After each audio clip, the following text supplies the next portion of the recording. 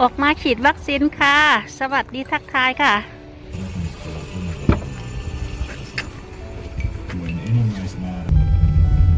ก็มาฉีดวัคซีนค่ะ อันนี้จะเป็นอนามัยในหมู่บ้านค่ะยายโชคดีมาอยู่ที่นี่วันนี้บรรยากาศก็จะประมาณนี้แหละค่ะดินแดนที่ธรรมชาติงดงามก็มาฉีดวัคซีน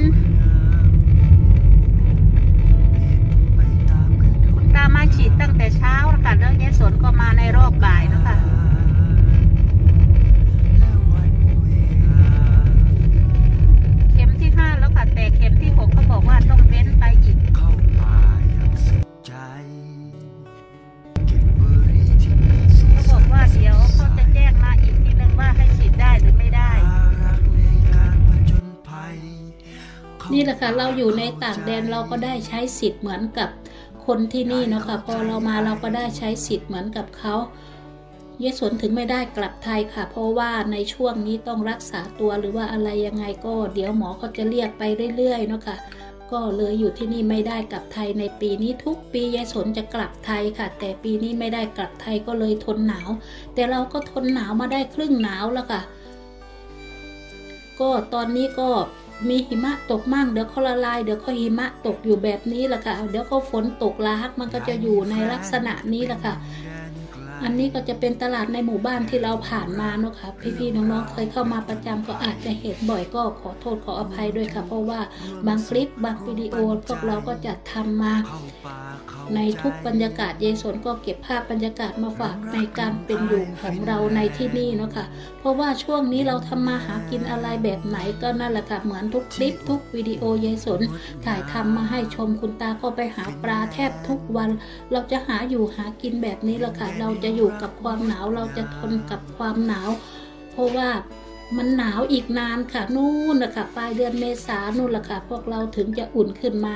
สักนิดหนึ่งอะไรอย่างกันนี่นะคะยายสนก็ฝากกดไลค์กดแชร์กดติดตามให้ยายสนก็เป็นกำลังใจด้วยนะคะ ทุกคลิปทุกวิดีโอจัดทำมาเพื่อความบันเทิง ถ้าหากผิดพลาดประการใดก็กราบขอโทษขออภัยค่ะ อันนี้ก็ลงซอยเข้าบ้านแล้วค่ะเดี๋ยวก็ถึงบ้านแล้วค่ะยายสนก็กราบขอบพระคุณพี่ๆน้องๆทุกๆท่านที่ไม่ทิ้งกันหลังจากที่ว่าคลิปเก็บเห็ดนาะค่ะเดี๋ยวรอหิมะละลายค่ะพี่ๆน้องๆจ๋าเดี๋ยวหิมะละลายเราก็ได้เก็บผักปลาแล้วค่ะ เดี๋ยวในช่วงกลางเดือนเมษานี่เราก็ได้ไปหาปลาเต็มที่แล้วค่ะ เพราะว่าอันนั้นเราจะเอากระชังไปใส่ในทุ่งนาเลยค่ะ อันนั้นบรรยากาศสวยงามค่ะ ก็ฝากกดไลค์กดแชร์กดติดตามเอาไว้นะคะ ฝากกดกระดิ่งแจ้งเตือนเอาไว้ค่ะเพื่อที่จะไม่พลาดคลิปหน้าค่ะ นี่แหละค่ะ พวกเราก็จะอยู่อย่างกันนี่ยายสวนก็จะทำคลิปทำวิดีโอเกี่ยวกับบรรยากาศในการเป็นอยู่ของคนชนบทที่นี่มาฝาก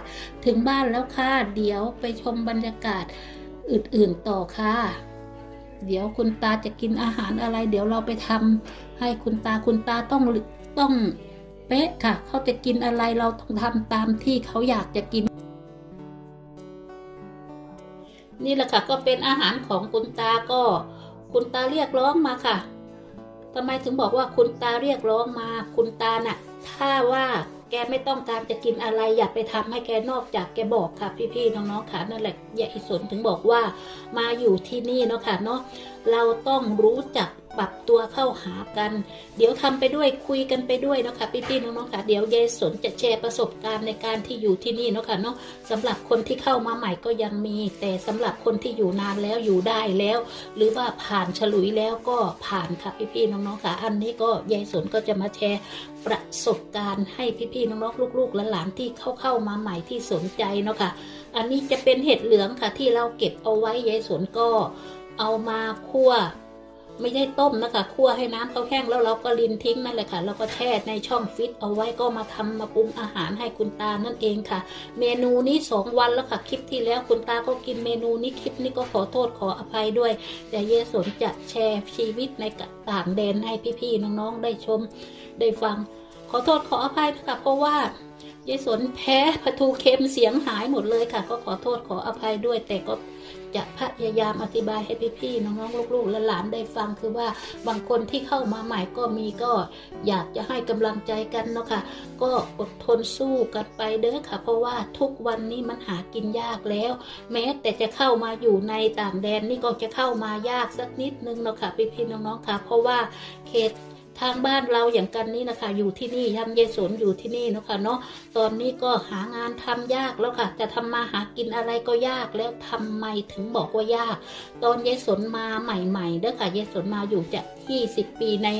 เดือนกุมภานี่แหละค่ะ ตอนนั้นยายสนพูดก็ยังไม่เก่งภาษาก็ยังไม่เป็นยายสนยังสามารถวิ่งออกตลาดนัดหาขายของได้ขายอะไรงานฝีมือค่ะ ยายสนเอาผ้าถุงน่องผ้ายายบัวมายายสนทำดอกไม้ ทำอะไรพวกนี้นะคะ งานฝีมือทำผีส่งผีเสื้อ อันนี้ก็ขายได้ค่ากับข้าวเหมือนกันค่ะพี่ๆน้องๆจ๋าแล้วทีนี้ยายสนก็ไปเก็บเอากิ่งเบิร์ดนะคะ กิ่งเบิร์ดที่เขาตัดลงมาทำฟืนแล้วทีนี้กิ่งที่ฝอยๆของเขานะคะยายสนก็เอามากำนะคะ เอามากำแล้วก็เป็นไม้กวาดค่ะ เป็นไม้กวาดเราก็เอาไปขายได้ค่ะ แล้วก็ใบซาวหน้าเราก็เอาไปขายได้นั่นแหละค่ะพี่ๆน้องๆจ๋าหากินง่ายในช่วงที่ยายสนมาใหม่ ๆ แต่ตอนนี้ไม่ได้แล้วค่ะ ไปตลาดไหนก็ไม่มีคนอืใครก็เซฟเงินเซฟทองไว้ซื้ออยู่ซื้อกินข้าวใครก็แพง อะไรก็แพงไปหมดค่ะพี่พี่น้องๆจ๋านั่นแหละค่ะยายสนถึงบอกว่า อยู่ประเทศไหนก็ช่างค่ะ ขอให้อดทนเอา ไม่ใช่เป็นเฉพาะ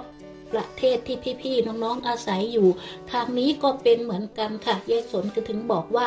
พวกเราทำมาหากินอย่างไร หาปูหาปลากิน เออ ไม่มีปูพี่น้องขอโทษ หาแต่ปลาค่ะ ถ้ามีปูก็จะไปขุดอยู่ค่ะ แต่มันไม่มีปูให้ขุด แต่เราก็ได้ไปเจาะแต่น้ำแข็งให้มันเป็นรูลงไป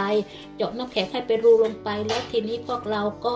นั่นแหละค่ะไปตกปลาคุณตา ก็ไปตกปลามาให้ยายสนทำกับข้าวแทบทุกวัน วันนี้เมื่อวานนี่ไม่ได้ปลา คุณตาก็เลยนี่ค่ะจัดเห็ดไปสองวันแล้วค่ะ อันนี้แหละค่ะยายสนก็มาแชร์ ประสบการณ์ชีวิตอยู่ในนี้ให้พี่ๆน้องๆ ได้ชมได้ฟังเนาะค่ะก็ฝากกดไลค์กดแชร์กดติดตามให้ยายสนเพื่อเป็นกำลังใจด้วยนะคะ ฝากกดกระดิ่งแจ้งเตือนเอาไว้ค่ะ เพื่อที่จะไม่พลาดคลิปหน้าค่ะ กราบขอบพระคุณมากๆ ทุกรัก ทุกไลค์ทุกเลิฟทุกกำลังใจค่ะ ทุกคลิปทุกวิดีโอจัดสร้างสารรค์มาเพื่อความบันเทิง ถ้าหากผิดพลาดประการใดยายสนก็กราบขอโทษขออภัยด้วยค่ะขอให้ทุกท่านจงมีแต่ความสุขความเจริญปราศจากเวรภัยทั้งหลาย ด้วยเทินไม่เก็บไม่จนกันทั่วหน้าถึงตาคุณพระรักษาทุกท่าน สวัสดีค่ะ เจอกันคลิปหน้า บ๊ายบาย